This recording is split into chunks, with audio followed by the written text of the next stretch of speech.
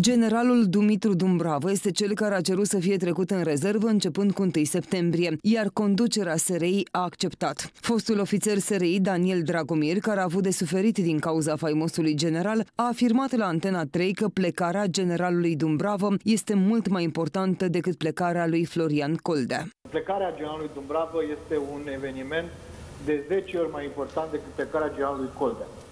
Pentru că relațiile personale stabilite cu judecători și procurori erau ale generalului Dumbravă și destul de puțin ale generalului Coldea. Lovitura pentru statul paralel este imensă.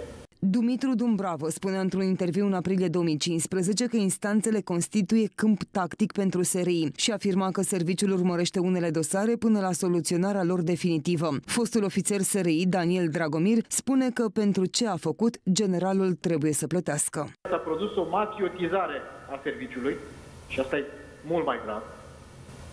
Și Generalul Dumbravă, să știți că a fost unul din cei mai inteligenți oameni din serviciu. Comisia SRI are, spre exemplu, în fața astăzi, multe dovezi care arată implicarea ilegală pe bilețele și ordine date de generalul Dumbravă judecătorilor pentru a condamna și trimite oameni la pușcărie nevinovați. A plecat Dumbravă, dar el trebuie să răspundă penal pentru toate faptele pe care le-a comis și să meargă la pușcărie.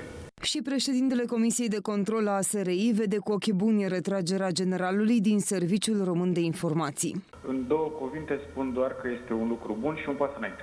Domnul uh, Dumbravă la comisie a explicat uh, originea acelui interviu, uh, a încercat să explice în opinia sa la ce se referea când vorbea de câmpul tactic. Și avem uh, afirmații care îl vizează direct pe domnul Dumbravă. Atunci când o să avem un punct de vedere concret și argumentat, o să-l prezentăm biroului permanent, plenului Parlamentului și opiniei publice. Președintele Claus Iohannis a semnat deja decretul de retragere a generalului Dumitru Dumbravă.